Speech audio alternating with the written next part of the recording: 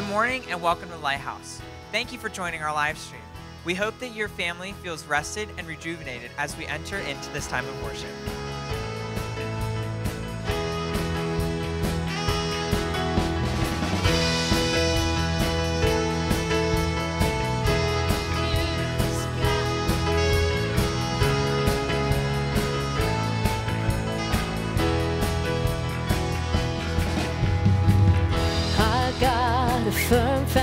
foundation, our rock, the only solid ground. The nations rise and fall. Kingdoms once strong, now shaken. We trust forever in your name, the name of Jesus. We trust the name.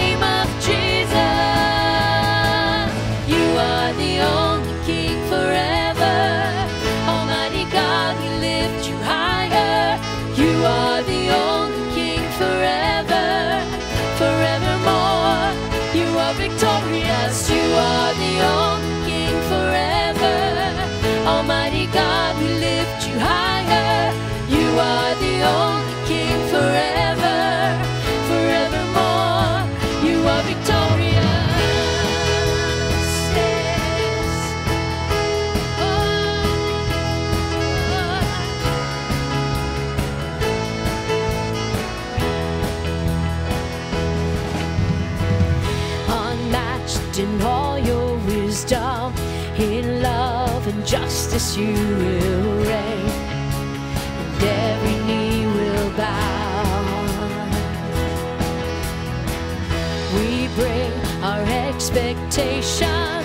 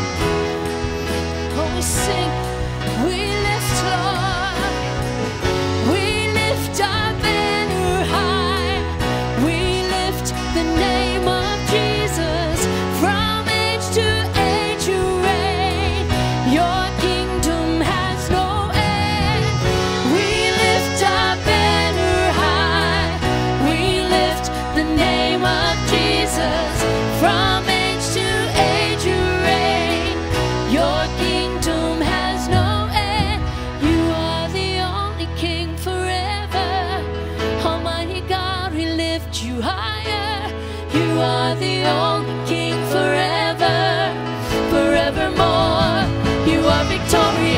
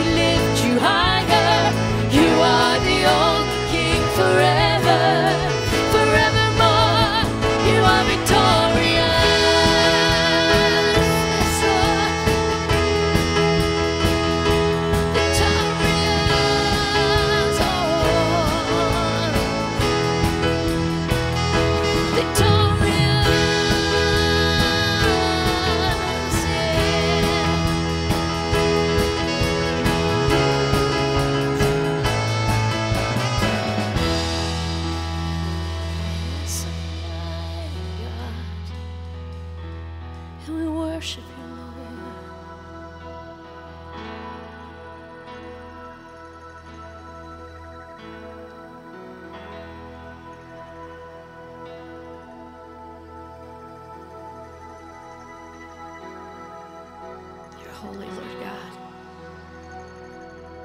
Father God, we just want to lift your name this, this morning, Lord God. We want to give you praise, honor, and glory, Lord God. For you're great. We serve a living God. Serve a, a God who gives us hope, gives us a promise, Lord God.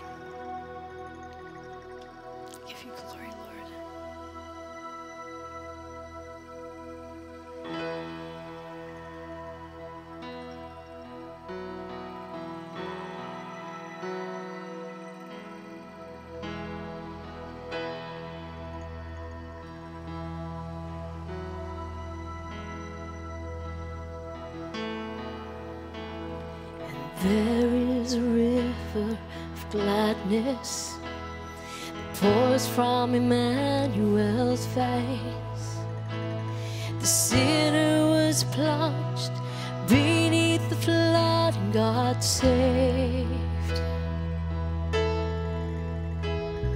Since then I walk in forgiveness. All my guilt was erased.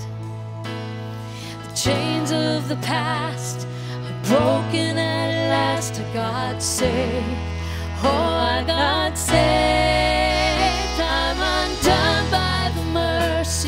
Of Jesus. I'm undone by the goodness of the Lord. I'm restored and made right. He got a hold of my life. I've got Jesus. How could I want more?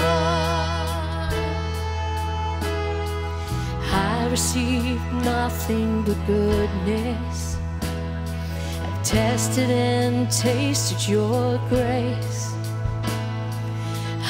Was so lost till I fell at the cross and got saved.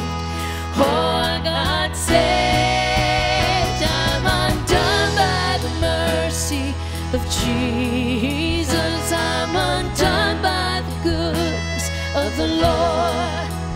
I'm restored and made right. He got a hold of my life. I've got Jesus. How could I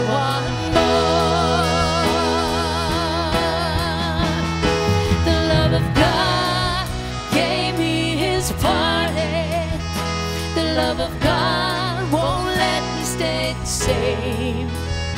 The love of God calls me up higher. His will is stronger. That's why I got saved. I'm undone by the mercy of Jesus. I'm undone by the goodness of the Lord. I'm restored and made right. He got a hold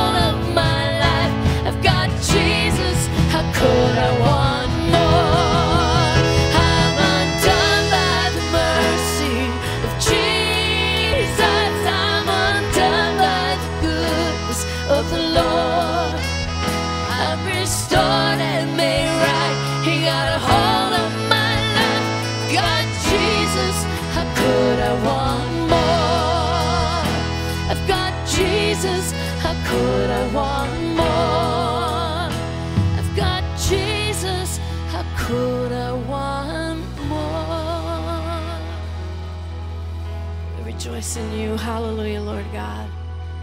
We rejoice in you, God.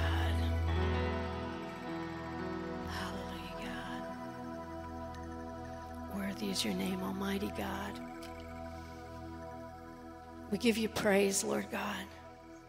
Father, we realize, Lord God, that you're the one that gives us hope.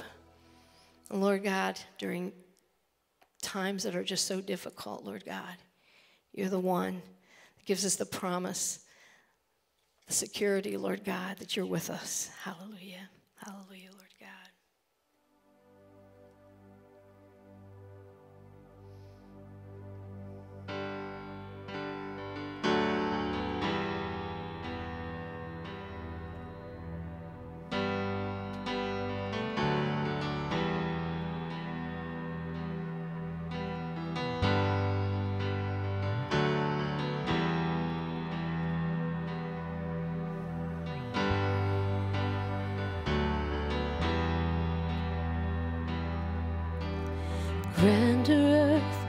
Quake before. Moved by the sound of his voice, seas that are shaken and stirred can be calmed and broken for my regard.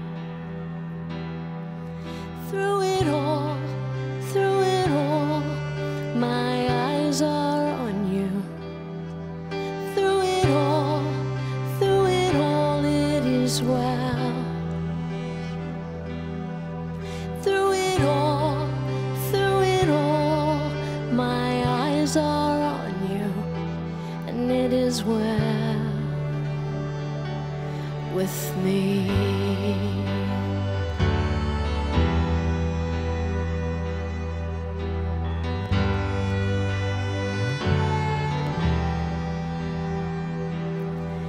Far be it from me to not believe, even when my eyes can't see. And this mountain that's in front of me will be thrown into the midst of the sea.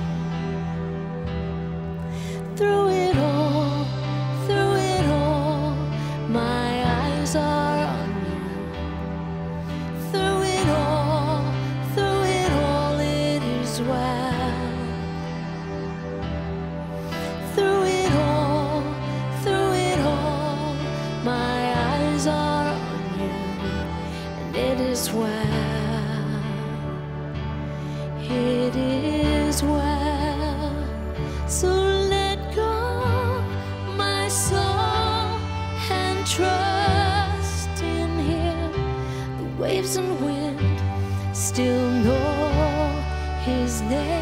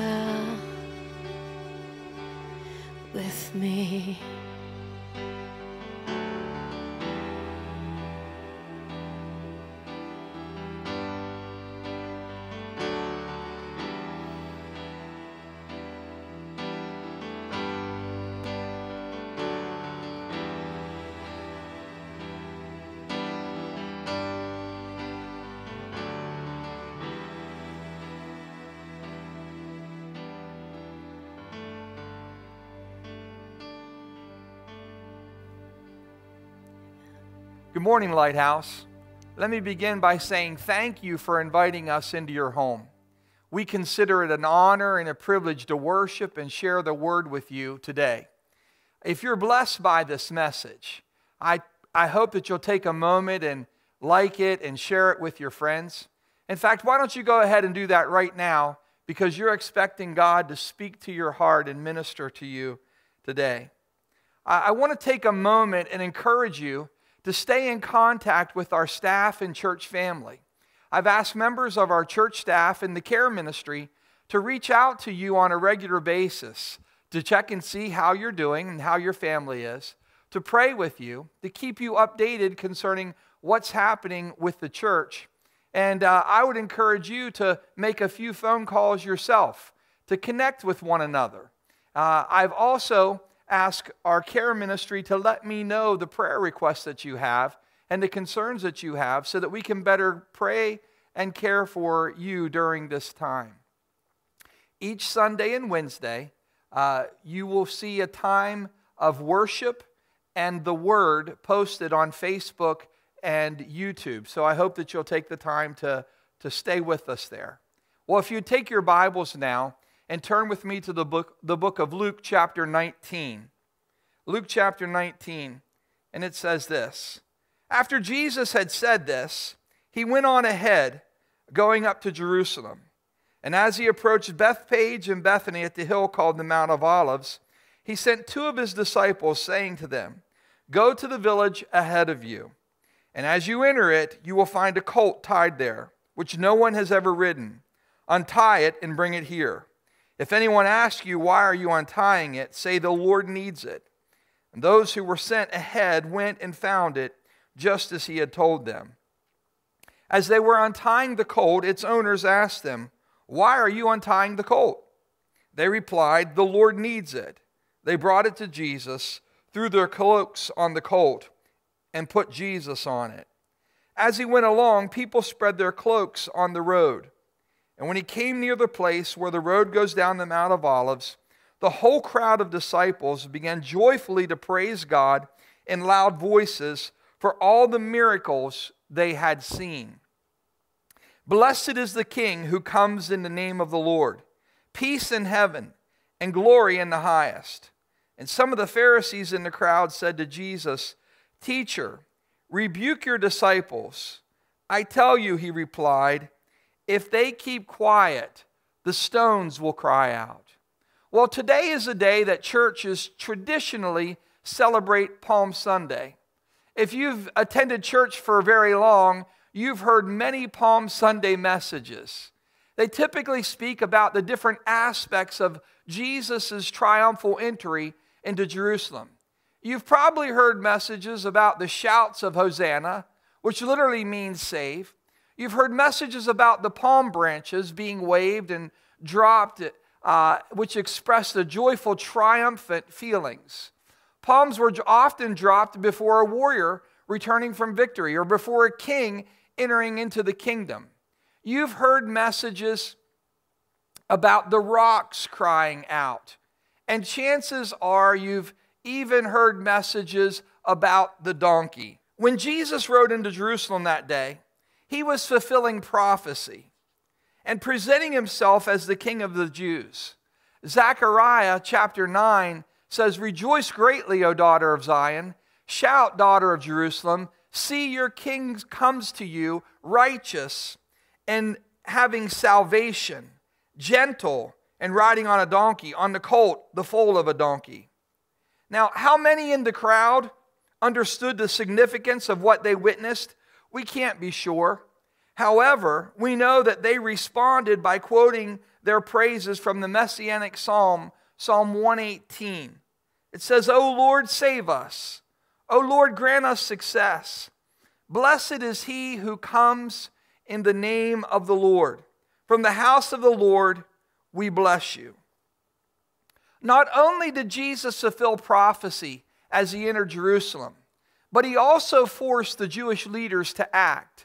They had hoped to arrest him after the Passover, but because they were afraid of the people's response, but God had ordained that his son would be slain on Passover. He was going to be slain as the Lamb of God who takes away the sins of the world. Every previous attempt to arrest Jesus had failed. And according to Scripture, his hour had not yet come. When they saw this great public celebration, the religious leaders knew that they had to do something, they had to act. Commentators suggest that there were three special groups in the Passover crowd. The first group was the native Judeans who were suspicious of Jesus. The second group was the Galileans who followed him. And finally, the visitors from outside of Judea who didn't know hardly anything at all about Jesus. Within the crowds from Judea were people who saw Jesus raise Lazarus from the dead. Many of you perhaps have heard the statement that the crowd that cried Hosanna on Palm Sunday ended up crucifying him on, on Good Friday. Well, that's not true. You see, it was primarily the Jerusalem Jews, influenced by the priest, who asked for Jesus' blood. As Jesus advanced down the west side of the Mount of Olives toward the city and was praised by the crowds as their Messiah, the act of spreading their cloaks on the road in front of Jesus was a sign of respect. The whole crowd of disciples began joyfully to praise God for all the miracles they had seen. The Pharisees understood the meaning of what was going on, for they told Jesus to rebuke his followers so that they would stop calling him Messiah or King.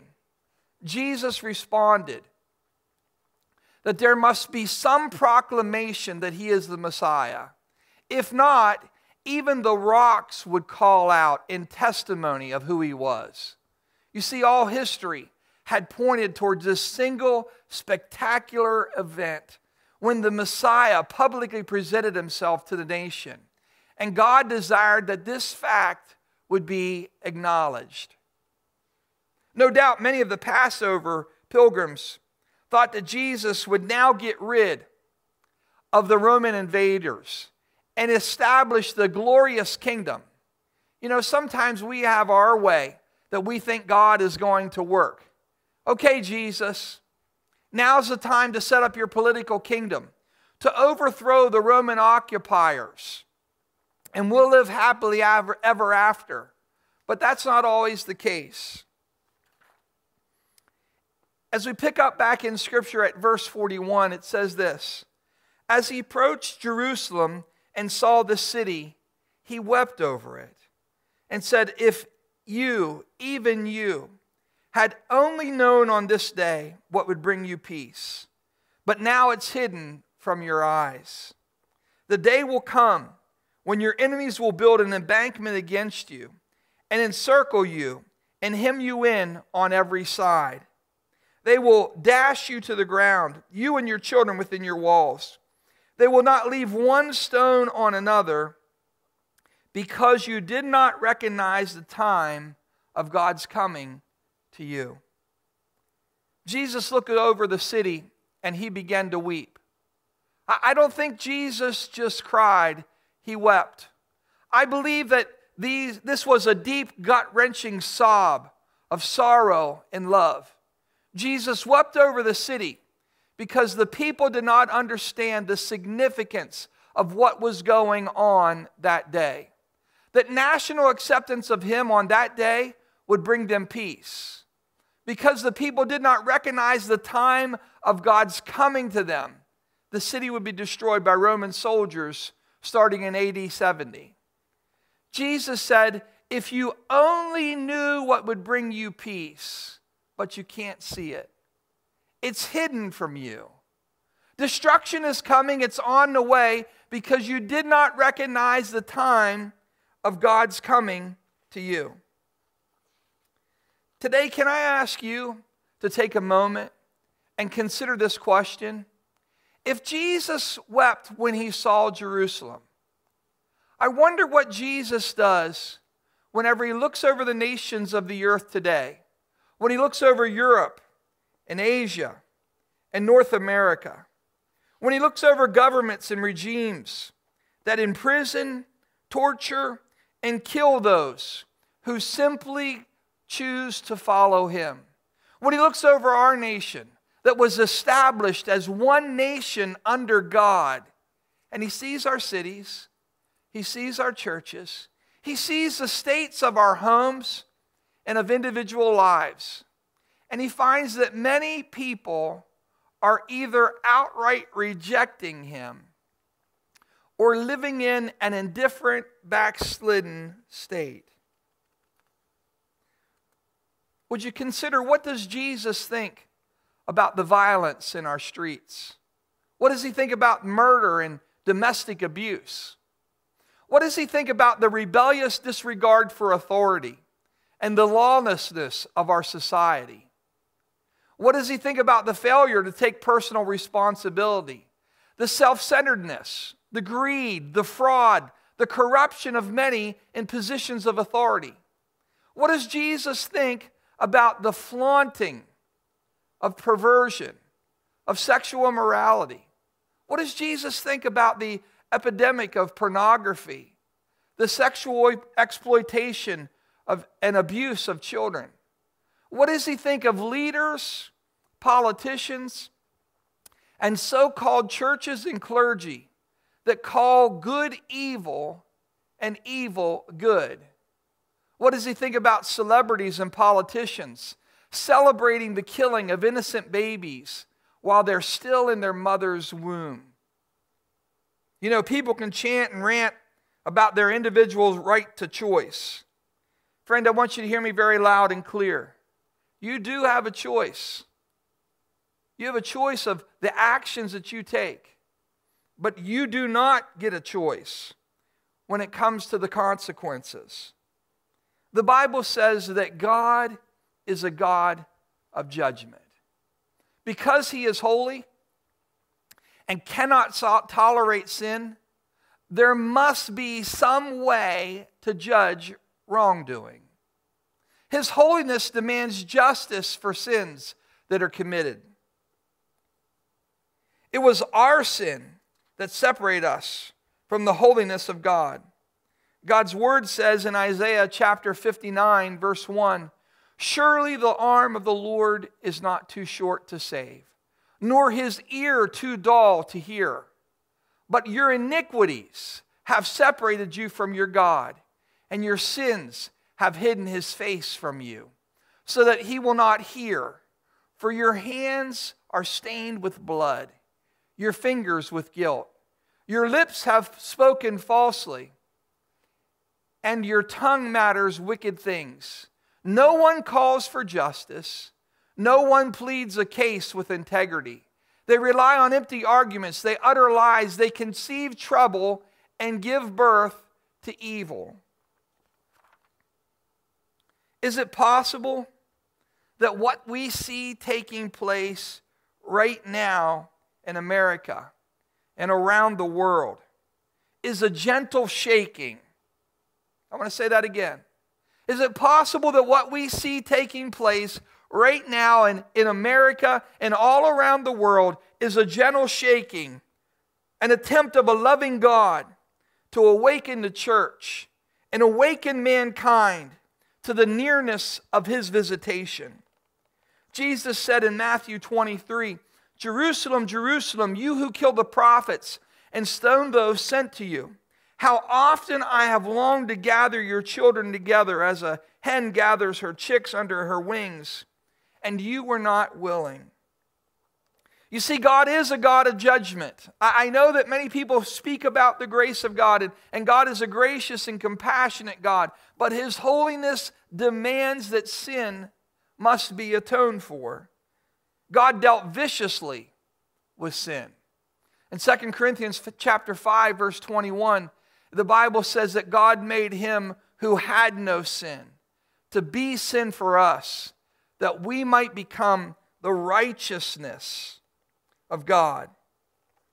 Jesus paid the price for your sin and mine upon the cross. He suffered. He bled. He died. Yet, in spite of that, there are those who refuse to acknowledge Jesus as Savior and Lord. They'll continue to reject His offer of mercy and forgiveness, and they will live their lives in opposition to Him. They will reject the very thing that would bring them peace, and instead they will choose destruction. For those people, Jesus weeps. And, show, and so should we. He weeps over their stubbornness. He weeps over their hard heartedness. He weeps over mankind's spiritual blindness. If you're listening to me today and you're concerned about your relationship with Jesus, I want to encourage you to, at this even this very moment, that you'd surrender your life to Him. He'll forgive you, He'll cleanse you, He will pay the price. He's already done it, but you have to accept His gift of salvation. He will pay the price and the penalty for your sin. And He'll give you peace and He'll give you confidence. In the midst of all that's going on right now, you and I can have an assurance, we can have a boldness, we can have a confidence that only comes from being in relationship with Him. I'm going to say this to you as well. If you're living a sinful lifestyle, I'm asking you to, to think about what's happening around about you. I'm asking you to take a few moments and, and as God begins to shake those things that can be shaken, as God begins to, to, to move in our community and as He begins to move across the earth, that you'll use this as a warning time, that you'll consider that perhaps God is trying to speak to you and He's trying to draw you. I pray that your heart will not be hardened. I pray that you'll not be spiritually deaf or spiritually blind and, and think that you can live a life of sin and rebellion against God and doing your own thing and being, and being the God of your own life, following other things and allowing things to be set up in your life as idols, and think that God's going to be okay with that. For those who would like, I'd just like to take a minute and pray with you. If you're unsure of what's happening, if you're anxious, if you're fearful, the Bible says that perfect love casts out all fear. And so today I want to pray.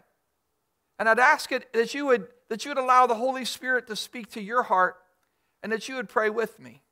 That you just ask the Lord, Father, would you speak to my heart? So I, I want to pray for you right now. Father, in the name of Jesus, I thank you that you care about your people. I thank you that even this moment, as you look upon our cities, as you look upon our communities, as you look upon the brokenness of our society, and many people have no regard for you. They've chosen to reject you. They've chosen to turn their back on you. They've chosen to mock you. And yet you still love them. And yet you still call after them. I pray, Father, that the blinders that are on people's eyes, even as they hear this message, that the blinders would fall off of them, that the, that the scales would fall off of their eyes, and they would see their true need and they'd see where they stand with you.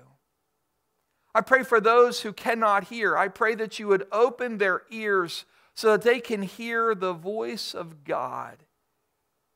They can find forgiveness and mercy and grace. Father, I pray that as they are given this opportunity, Lord, we choose to humble ourselves before you. We choose to acknowledge that Jesus Christ is the way, He's the truth, and the life, that no man comes to the Father but by Him. And so today, Lord, we accept your sacrifice upon Calvary as being the payment for our sins.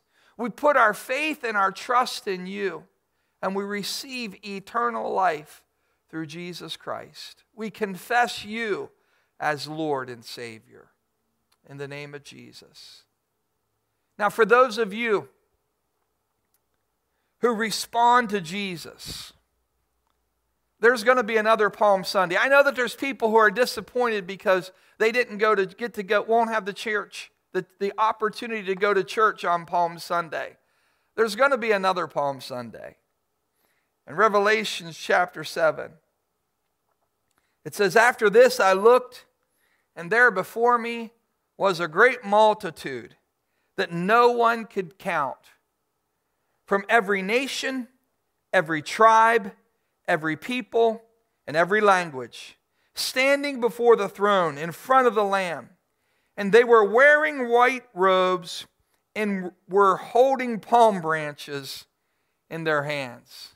I'm so glad that you and I have an assurance that because we put our faith and our trust in Jesus, that we have an assurance of victory. We have an assurance that we're going to see him once again. We have an assurance that no matter what goes on around about us with our retirement accounts or what goes on with our jobs, that the Lord is looking out for us and we have an eternal promise of being with him forever. Thank you for the privilege to be in your home. We're looking forward to seeing you again uh, this coming Wednesday night. So God bless you. We love you. And we pray that you have a great day in the Lord.